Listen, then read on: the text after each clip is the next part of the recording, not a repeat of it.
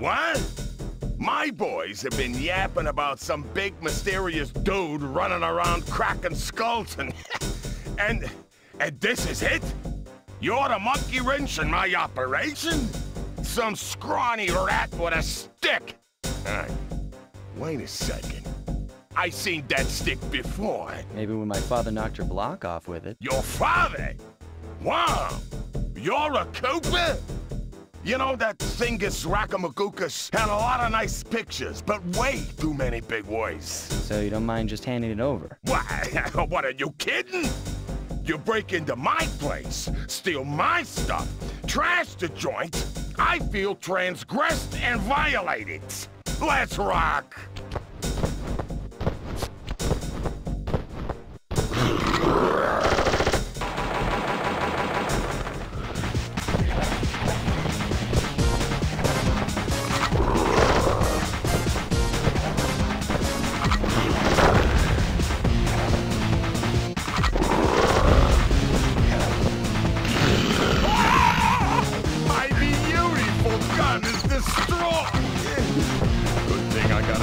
upstairs.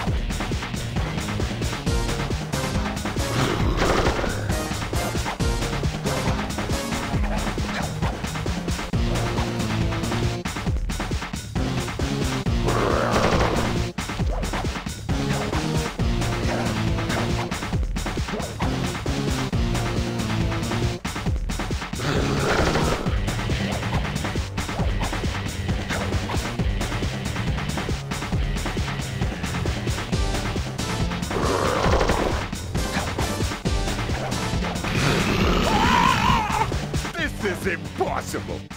A little pipsqueak like you beating a big, strong bruiser like me? It ain't right. You want all of that stupid picture book? You're gonna have to go down to Haiti and cross paths with Miss Ruby. And then believe you me, you don't want to be you. Muggshot section of the Thievius Raccoonus contain an entry from my gunslinging ancestor, Tennessee Kid Cooper. His specialty was the rail walk and rail slide. Moves perfected through a lifetime of theft in the Old West. Getting out of town proved to be a little more challenging than getting in. Having just missed us, Inspector Fox went for the next best thing and dragged that canine steroid case off to jail. That was the end of Muggshot's gambling empire, and Mesa City's citizens soon returned home. While me and the boys well, we enjoyed the rest of our stay in America and then returned to Paris, ready for our next mission.